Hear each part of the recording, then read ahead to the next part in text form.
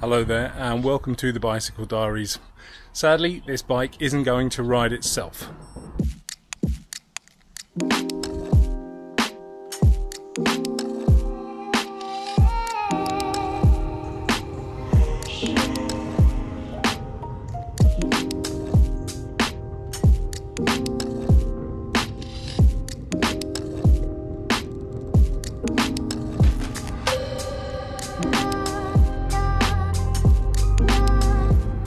To admit, I'm really feeling it today. It's been a week since I went out cycling, and even when uh, I went out last week, I went and did a fairly easy route and uh, was pretty tired afterwards. Today, I'm just riding my standard Buns Benton Hoe route. It's a little bit hilly, but at least I don't have to think too much. 30 kilometers, so I'm just easing myself back into it fairly gently, hopefully.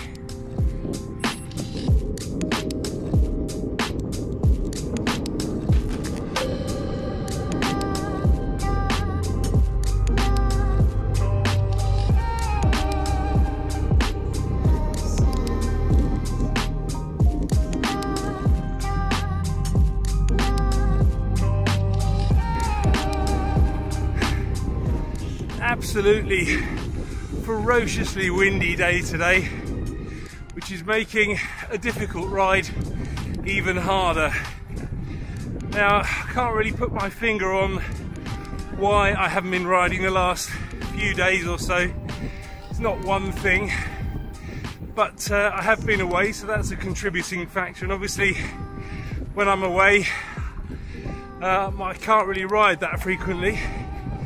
Plus, um, I think I've also kind of gone off track a little bit after the uh, 30 days of cycling challenge.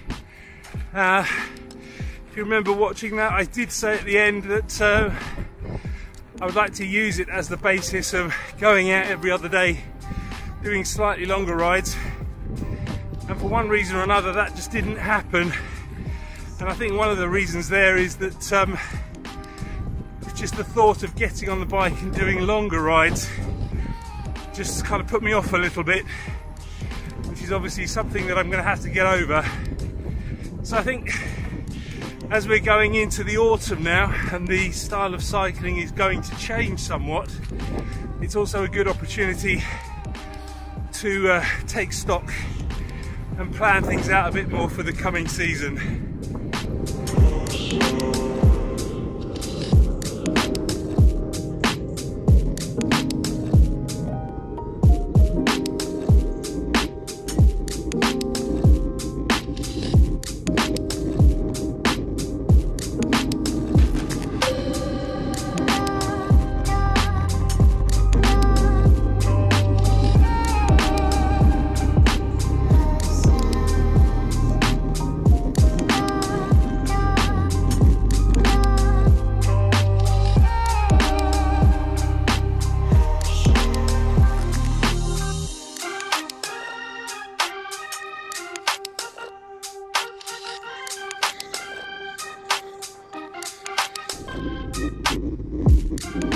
One of the reasons I've chosen this Buns Benton Hoe route is because I know it so well and I'm able to gauge my fitness on here, which incidentally is definitely not that good.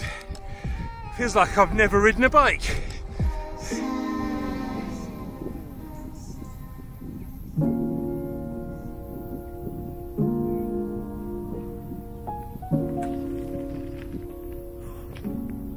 So here we are, it's the beginning of September, and here in the Northern Hemisphere, we are obviously going into the autumn. And as I mentioned earlier, that does mean that the style of riding will change somewhat.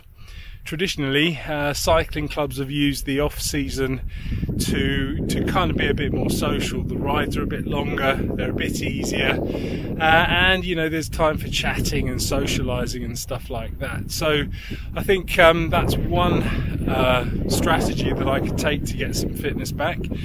Um, but I've also been hearing a lot about this new thing called HIIT, which stands for High Intensity Interval Training. So that kind of turns the old school, longer, easier rides on their heads, and you start going out for shorter, harder rides. And studies have shown that the fitness benefit that you get from those rides aren't all that different from the longer, easier rides. So, um, obviously, you save a bit of time. You're not out in the wet and the cold quite as long.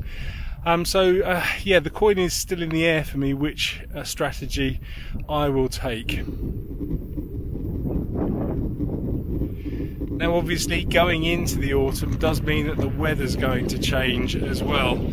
At the moment, we're not too bad here. It's about 20 degrees. As you can see, it's a kind of a nice uh, sunny day. Uh, and it's quite pleasant, but I, I, do know that that will change fairly rapidly and we'll start getting a lot more rain. Um, I'm going to go out on the road whenever I can, but obviously I also have my turbo trainer, so be using that a lot more.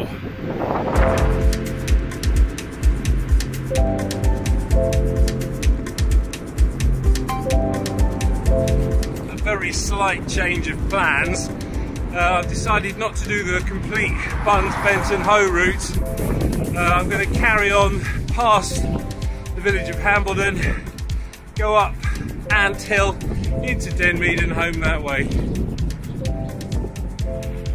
Now that's not for any particular reason other than the fact that I just fancy doing this route today.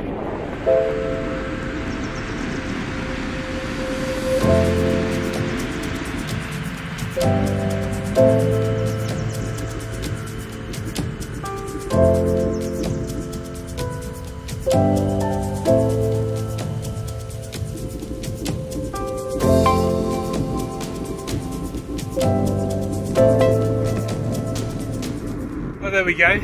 nearly home. And I have to admit that I didn't enjoy that ride quite as much as perhaps I should have done. And that's obviously down to not being fit and then the wind making it even more difficult. Hopefully, as I get back on the bike, things will get better. Now that I'm home, showered and relaxed, I can reflect a little on today's ride. So in short, no, it wasn't the best of rides and that was basically down to me not being very fit.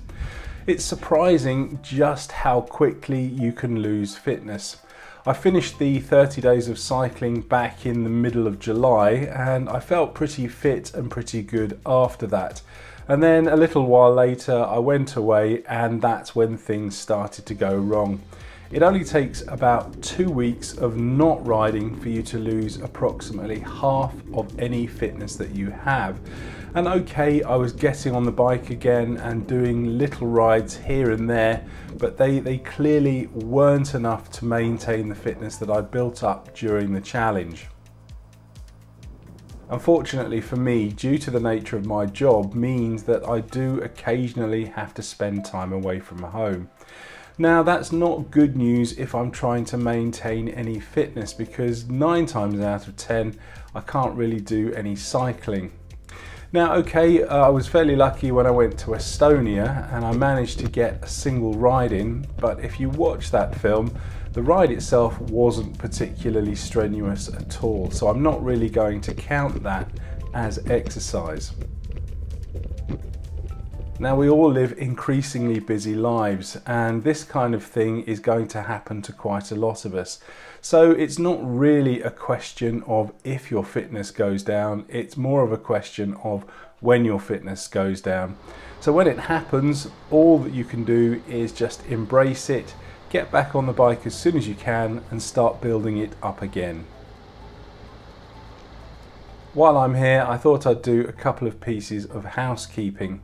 I'm currently putting together another Jolly Good Velo jersey order, so if you're interested, there's still plenty of time to buy one. The sizes range from extra small to 6XL, so they will fit literally anybody. And if you'd like to buy one, you can email me for details. I'll leave my email address below. And secondly, don't forget that we also have a Jolly Good Velo Facebook page. So if you're on Facebook, please think about joining that. It's completely free. Uh, just go along and you can join in with all of the discussions that we're having in the group. Uh, again, I'll leave the details below. So if you found this film useful, please like and share. And if you'd like to get the most out of your cycling, please consider subscribing for my regular weekly uploads. It's completely free and you can do so by clicking the subscribe button below. Thanks for watching.